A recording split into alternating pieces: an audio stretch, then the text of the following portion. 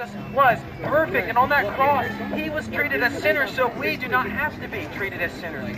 It's what theologians call substitutionary atonement. He became our substitute on the cross. God accounted our sin over to his account. He moved it over to his account and caused Christ to die for our sins and caused Christ to undergo the punishment that we deserve.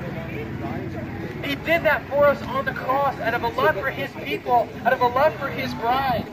The Bible tells us in Isaiah 53:10 that it pleased Yahweh to crush him. See, the wrath of God that we deserve to be unleashed upon us for all eternity was flung upon the Lord Jesus Christ, was poured out on Christ, so that we can receive forgiveness before God. Three days later, he was risen from the grave. He rose. He's alive today. See, Jesus Christ is not dead anymore. See, all these other religious leaders, they're, they're, they're religious figures that they follow, they're all dead. Buddha, he's dead. Muhammad, he's dead. All the popes, they're dead.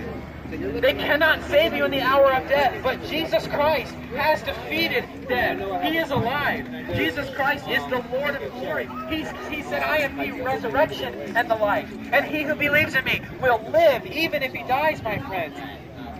This is the hope for believers in Jesus Christ.